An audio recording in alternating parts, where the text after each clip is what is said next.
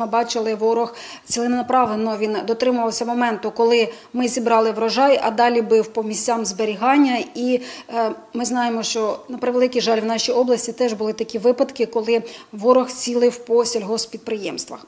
Е, На щастя, на допомогу якраз прийшли міжнародні пар- партнери і за сприяння Міністерства аграрної політики та продовольства України е, протягом 22-23 років наші сільгосптоваровиробники, близько 114 114 так, сільгосптоваровиробників, вони отримали майже е, 1400 е, пакетів таких мішків для зберігання е, зерна якраз е, на полі на землі. І сьогодні ми розуміємо, що один із викликів знову ж таки може повторитися, коли ворог дочекається, що ми зберемо врожай і далі буде бити по цим місцям зберігання.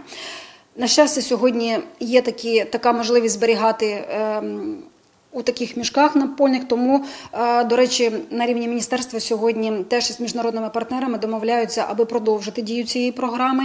І я закликаю всіх, якщо буде дійсно продовжена дія цієї програми, скористатися нею, отримати безкоштовно такі е, пакети для мішки для зберігання цього зерна і в подальшому е, їх отримати. Ми зазвичай звикли, що у нас сільгосптоваровиробники, коли зібрали врожай, вони його везуть на ток і далі у таких зерносховищах зберігають його. Але сьогодні допомога від міжнародних партнерів, якраз щодо таких напольних е, мішків, вона дає можливість роззасередити місця зберігання, аби е, ворог у подальшому не знищив те, що таким важким трудом по суті вдалося виростити.